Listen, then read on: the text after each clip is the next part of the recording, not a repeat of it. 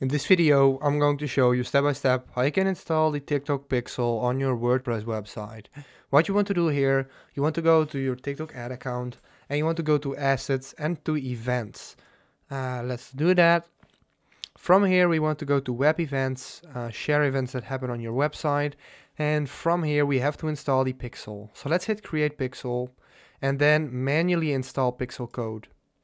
Hit next. Oh, we have to make a name. So let's name it Pixel WordPress.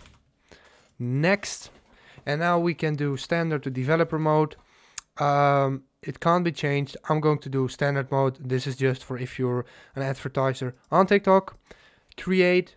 And now we're getting the code. So we have to copy the pixel code, go to WordPress, and now we have to go to the appearance and to themes. And we have to go to the theme editor. So now we are in, in the theme editor and we have to go to and search for the header. So uh, let's do that. It's right here, header.php. And here we have the header. So where head start, we have to enter a space. So um, as you can see, here it is. You want to hit space, copy the code. So this is the wrong code actually. Um, copy pixel code, paste it in there, and there it is. We have now pasted in the code and we can hit update file. And let's go to our website right now. And it's still working.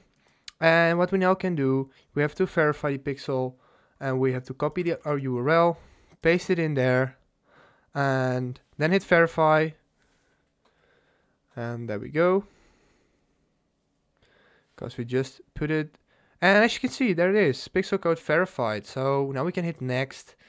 And now we can create events. And yeah, this is basically how you have to install the TikTok Pixel on your WordPress site.